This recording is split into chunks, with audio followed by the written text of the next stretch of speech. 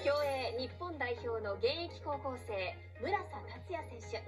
手。地元愛知県でパリオリンピックでの活躍を誓いました。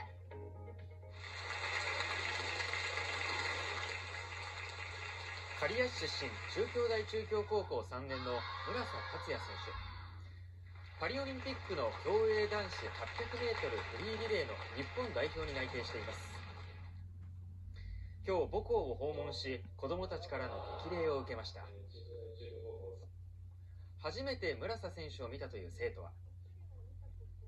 実際に夢を叶える人って相当な努力とかその根気が必要なのですごいなと思いました。頑張れ。午後には刈谷市役所を表敬訪問。体調に気をつけて頑張ってとエールを送る市長は泳ぎ以外にも気になった部分があったようで今はサインしてもらいましたけどだいぶ練習しました。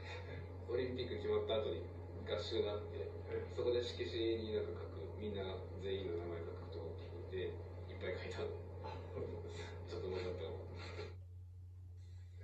地元からの熱い激励を受けた村瀬選自分が思っていた以上にみんな期待してて、まあ、その期待にも絶対応えたいので、もうそのためにもこれから練習頑張ってちゃんと期待に応えられるようなレースができたらいいなと思ってます。